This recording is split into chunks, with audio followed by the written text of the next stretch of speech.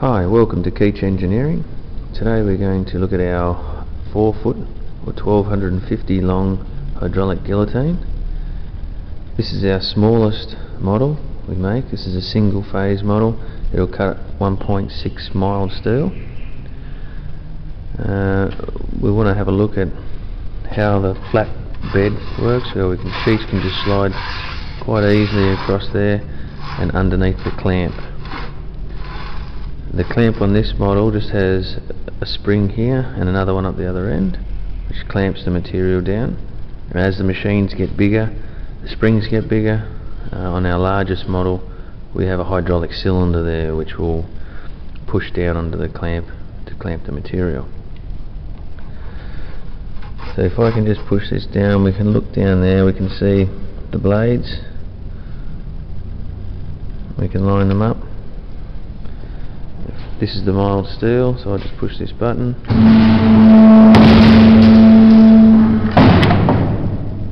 That's the mild steel one. You see that's cut through there. Now these are very straight edge.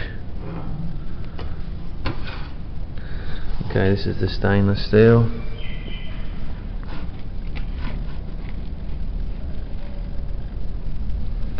You can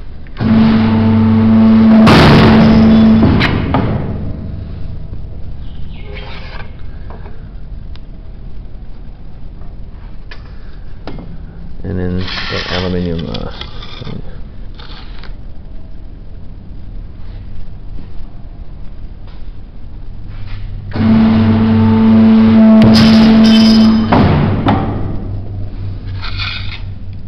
It's very simple to use, very easy. And uh, we've got the full cage on the back so we can't get our fingers into the dangerous areas. Any longer sheets will come through here and the shorter pieces simply fall out the back and uh, very easy. So this is our smallest model. The bit the the 4 millimeter machine will get much larger uh, a lot stronger. The hydraulics are more powerful. But, but uh, yeah I just wanted to show you guys how easy it is to slide everything in and clamp and use the machine